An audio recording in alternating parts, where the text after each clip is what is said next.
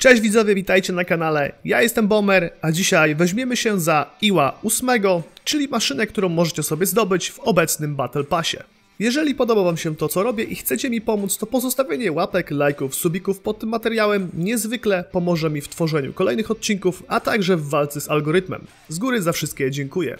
No i druga kwestia to oczywiście mój kanał Discord, na który serdecznie was zapraszam. Link macie w opisie tego materiału, a my przeskakujemy już do meritum.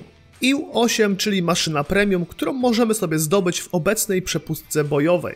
Oczywiście pozostaje kwestia, czy warto jest po prostu wykonywać tego Battle Passa, aby zdobyć ten samolot. A i oczywiście, gdybyście nie wiedzieli, jak wykonywać te całe Battle Passy, to tutaj w rogu pojawi się odnośnik do materiału, gdzie to wszystko tłumaczę. Pojazd na obecną chwilę znajduje się w Battle Ratingu 3.7. I według mnie jest to troszkę niefortunny BR dla tego pojazdu. Niestety ten samolot w głównej mierze nadaje się tak naprawdę tylko do bitew mieszanych. Oczywiście jeżeli ktoś chce go zabierać do bitew lotniczych, jak najbardziej może to zrobić, ale najbardziej efektywny po prostu będzie w bitwach mieszanych. I tutaj robi się delikatny problem, bo 3.7, a nawet 4.0 nie daje nam żadnej możliwości zbudowania line-upu, który byłby w oparciu o trzecią erę. A to oznacza, iż tym line-upem nie będziemy mogli brać udziału w różnego rodzaju eventach. Ale okej, okay, zostawmy to i po prostu skupmy się na samym samolocie. Na 3.7 ten samolot jest po prostu istnym monstrum. Jego główną zdolnością, która odróżnia go od pozostałych iłów, jest tak naprawdę możliwość przenoszenia dwóch bomb FAB 500. I są to gigantyczne ładunki, które potrafią zdziałać naprawdę wielkie szkody w przeciwnej drużynie. Oprócz samych bomb mamy oczywiście jeszcze działka 23 mm i 300 sztuk amunicji zapasu, a także 1500 sztuk amunicji zapasu do KM-ów 7,62. IU-8 to oczywiście samolot szturmowy i jego głównym zadaniem jest walka z pojazdami naziemnymi. Pomimo tego, iż jesteśmy naprawdę wielką i ciężką krową, to będzie zdarzało nam się walczyć z lotnictwem i powiedzmy sobie otwarcie, tym samolotem czasami będziemy odnosić zwycięstwa. Jeżeli zaś chodzi o opancerzenie, to samolot jest naprawdę dobrze chroniony. Płyty pancerne o grubości 5, 6 czy też 7 mm, okalające sam silnik, a także przedział załogi, znajdziemy bez problemu. A najgrubszym elementem opancerzenia jest oczywiście frontalne szkło pilota, które ma 64 mm grubości. Także odradzam czołówek z tym samolotem. Sam samolot w grze jest dość przyjemny w rozgrywce i dość łatwo nim się po prostu lata. Zadanie, jakie oczywiście ma, to niszczenie pojazdów naziemnych i de facto wychodzi mu to naprawdę dobrze. Ok, moi drodzy, moim zdaniem wystarczy już tej teorii, czas teraz przejść do praktyki. Przeskakujemy do kilku bitewek i zobaczymy, jak ta jednostka sobie radzi. I hej, witajcie już w bitewce. Gramy sobie oczywiście Siwiersk mapę. Ja jadę w okolice punktu C. I zobaczymy. Musimy trochę nabić oczywiście punktu, żeby wskoczyć w samolot. Także... Także tak. Tutaj, tak. Ktoś już artę zrzucił. O, coś tu się dzieje. Ktoś już strzela. O, oj, oj, oj, oj, oj, oj, oj, oj. A, to puma, dobra. Mała szansa, że mnie przebiła. Czy może, ale musiałaby w odpowiednie miejsce trafić. Mojej prawej coś słychać? Po mojej lewej coś słychać? O! Okej. Okay. Okej. Okay. Dawaj, dawaj. No dobra.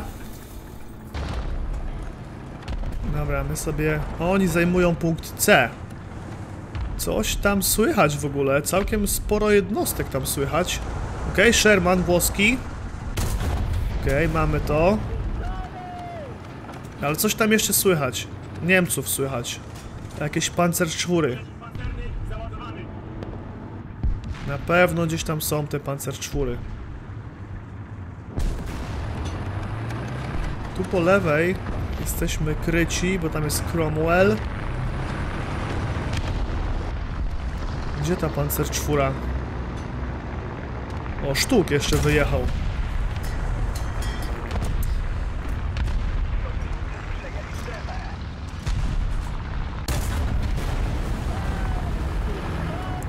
Dobra, jedziemy bliżej, trzeba zobaczyć co tam się dzieje, bo chyba tam jest ich sporo w ogóle. Tylko żeby teraz nie wyłapać. Tutaj coś stoi. Oj, za wysoko. Pancer czwóra, krótką 75. Nie, z długą, F2. I druga pancer czwóra, chyba J. Albo H. H, dobra. Coś jeszcze? Tam po mojej lewej gdzieś słyszę coś. Weźmiemy sobie punkt. Bo to chyba ten Cromwell. Tego Cromwella, Cromwella słyszę jeszcze.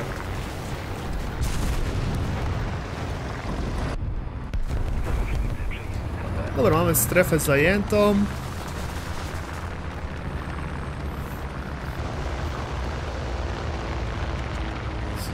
Oj, oj, oj, oj, oj. No, nie udało się. Ale 5 kili mamy, mamy asa, także jest ok. 300 na godzinę. Odpalamy wepa i ciśniemy. A, jesteśmy dość, dość jakby tacy zw zwrotni ogólnie. Dobrze reaguje na stery. Do tyłu ostrzał. Może być. Kabina. No widać, oni już tutaj wykonują wszystko w tych najlepszych teksturach, także nie pozwalają sobie na prowizorkę w takich kwestiach. Także jest ok. No i to jest maszyna premium, także oni tym bardziej nie mogą sobie na to pozwolić. Tam już coś zginęło.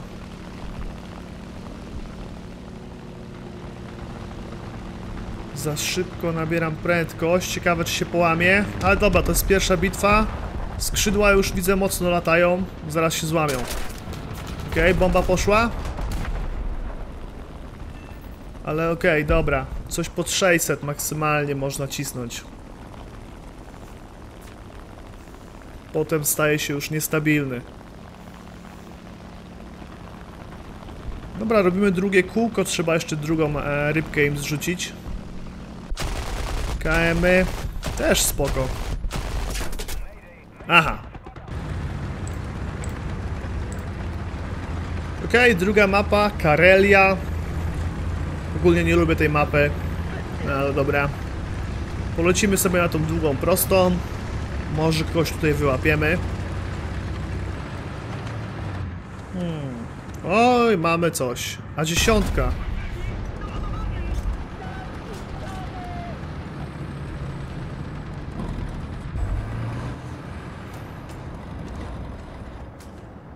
No, już trochę lepiej. To widać.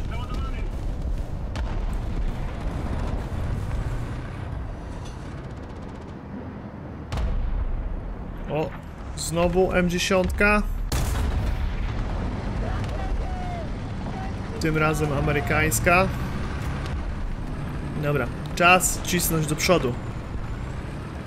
Oj, oj, oj. E, Turan 3. Oj, oj, oj, oj, oj. On mnie bez problemu może przebić. Nasz pochowy pancerz może nic temu nie zapobiec. Aj. Blisko. Blisko. On ma fajny bieg wsteczny, nie wiem czemu się... O, dobra, weszło. Mógł się wycofać. Coś tutaj słyszę. Nie wiem, co to... To na pewno nie Tygrys, albo więc na tym biarze może być chyba tylko ARL. Gdzieś tutaj ciśnie do góry wjeżdża.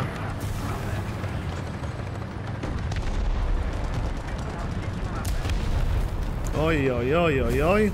Coś do mnie strzela, strzeliło tutaj. A, Sherman, dobra.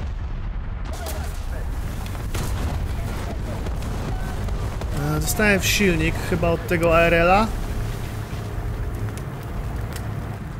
Coś tutaj.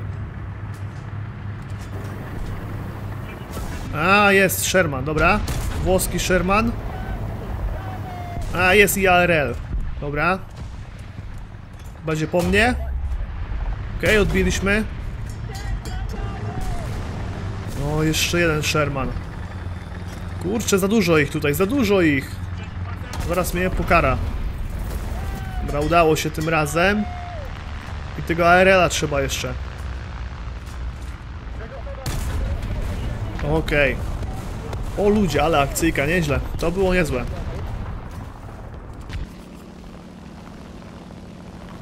Stąd nie widać, za daleko. Dobrze byłoby go zgasić, ale on ucieka. On ucieka. Dobra. Daruję sobie go. O, coś jeszcze tu leci. A, kurczę, dużo ich. Coś czuję, że szybko zakończę.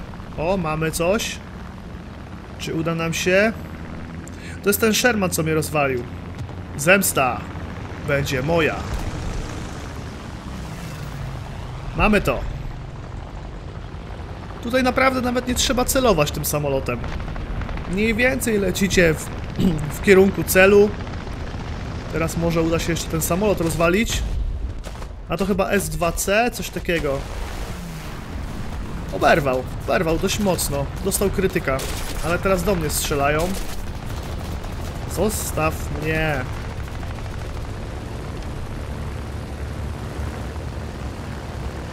Przydałoby się tą drugą bombę zrzucić, bo tak latać z nią to słabo. Tam coś jest. Dolecę. Aj, aj, aj. Kurczę, nie skręciłbym, musiałem uważać. E, mam kogoś na ogonie. O, dziękuję pięknie, Viewfighter. Uratowałeś mnie.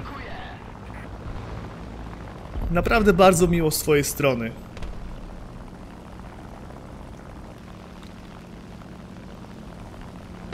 No przydałoby się zrzucić tą drugą bombę. Naprawdę, chcę się jej pozbyć.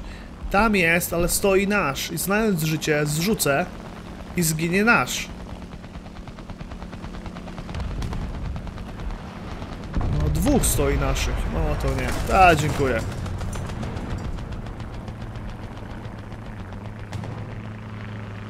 O kurczę. Będzie po mnie? Uciekamy w stronę bazy. Oj, za blisko jest. P... P... co to jest? P39. A, on mnie rozwali. Mój strzelec. Dawaj, strzelaj. Aha, on jest za nisko.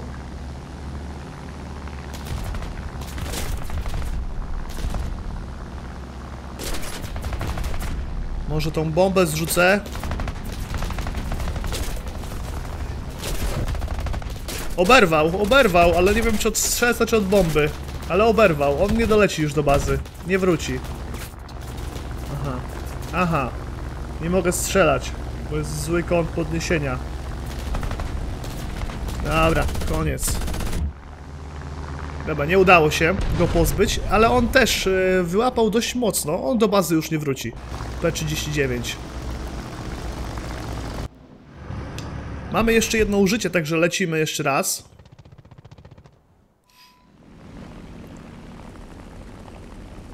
On jest tam. Ha, mówiłem, mówiłem, nie uda mu się to. Jest ok, jest ok. Jest naprawdę dobrze. Co tu się dzieje? Ale wydaje mi się, że bitwa już się kończy i przeciwników już jest mało. Hmm. Nic nie widzę. Tutaj. O jest, dobra, mamy to. Czy uda się? Tylko żeby teraz trafić. No właśnie. E, Coś leci jeszcze. Coś leci. Nie widziałem gdzie, ale coś leci jeszcze. Chyba na mnie. Albo i nie. Dobra, pozbędziemy się najpierw tej drugiej bomby. Tutaj coś jedzie. Sherman? Coś w tym stylu.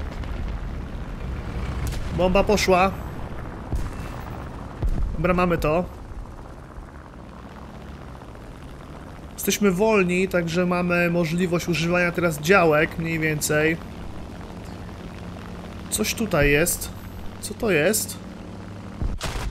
Jakiś Sherman. Te 23 mm działka naprawdę robią robotę. Oj, oj, oj, oj, oj. Dobra. 105.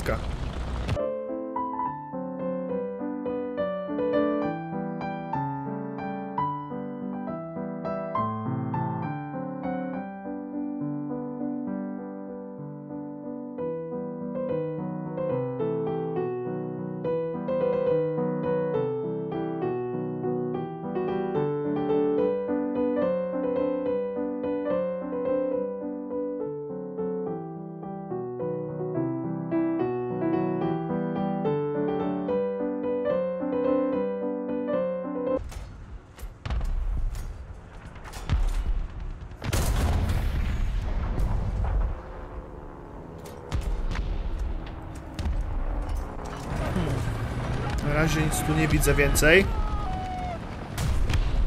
Oj, oj, oj. Ktoś tutaj do mnie strzelił. Tam stoi Churchill od boku, ciężko. No Okej, okay, sztuk mnie dorwał. Albo foka? Chyba BF. Dobra. Nie, sorry, to Amerykaniec.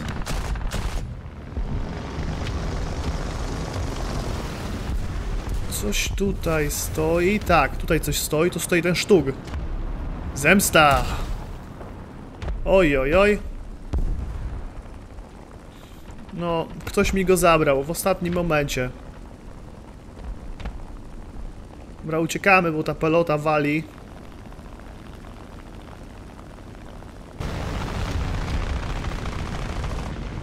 Tutaj stoją pojazdy. Nawet dwa. Będą dwa? Nie. A jednak, weszły dwa. Dobra, spoko. Może być, może być. Biorę to. O, jest jeszcze jeden IU-8. Ale się już rozbił. Coś tam stoi. Churchill, tego nie przebijemy. Ale dostał po gąsienicach, więc jak ktoś go rozwali, to dostaniemy asystę. Tą pelotę trzeba rozwalić. Tą pelotę trzeba rozwalić. Mamy jeszcze sporo amunicji, więc... Więc ją rozwalimy. Coś tu stoi. Chyba dostał krytyka. Coś do mnie wali. Samolot.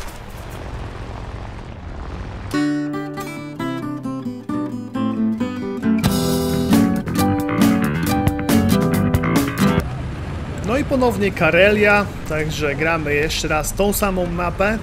Plan jest taki sam, lecimy sobie na długą prostą, wyciągamy których, wszystkich, którzy tędy się będą gdzieś tam e,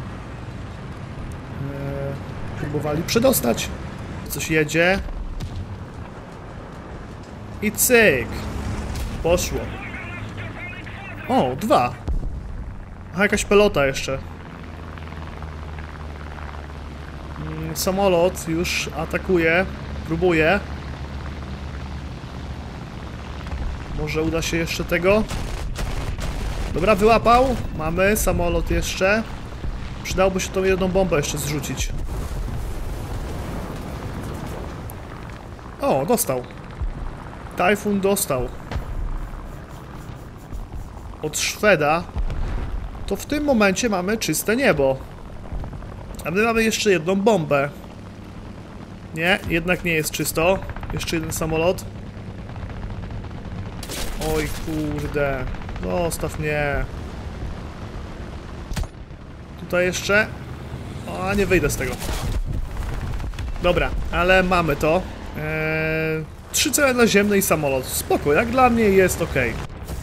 Ok, moi drodzy, czas na podsumowanie i tak jak widzieliście, IU-8 jest naprawdę mocną maszyną, a jeżeli ma jeszcze czyste niebo, to jest w stanie zrobić bardzo dużo. No i na sam koniec oczywiście pytanie, czy warto jest tą jednostkę odblokowywać. Według mnie warto, bo ten samolot daje duże możliwości i fajnie nim się po prostu lata. Dajcie znać w komentarzu, co wy myślicie o tym samolocie. Ja już się z wami żegnam. Dzięki, że byliście. Trzymajcie się. Cześć!